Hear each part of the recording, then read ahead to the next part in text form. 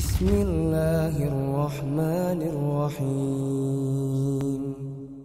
Ternyata sumber dari dosa-dosa tadi termasuk kesyirikan yang merupakan kedoliman yang paling besar adalah engkau berbicara atas nama Allah yang kalian tidak tidak pahami, tidak mengerti. Gitu. Makanya nggak boleh kita berbicara tanpa ilmu. Hati-hati.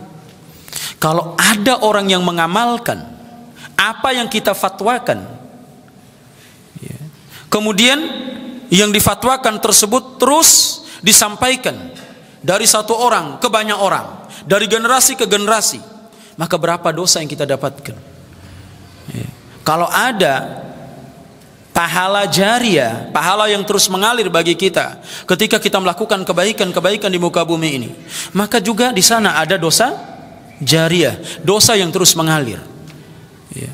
Ilmu yang bermanfaat yang kita ajarkan Kemudian orang-orang mengamalkan ilmu tersebut dalam rangka menghambakan diri kepada Allah Subhanahu wa taala. Makna sebaliknya, ilmu yang tidak bermanfaat itu sangat berbahaya.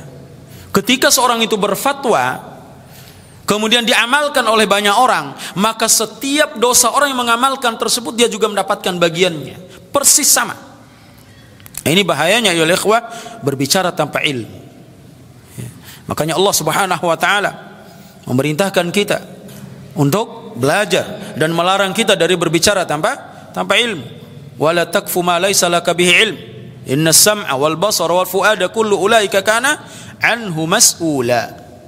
Allah Subhanahu wa taala katakan, jangan engkau berbicara yang engkau tidak memiliki ilmu atasnya. Sungguhnya pendengaran, penglihatan dan hati kita semuanya akan dimintai pertanggungjawaban.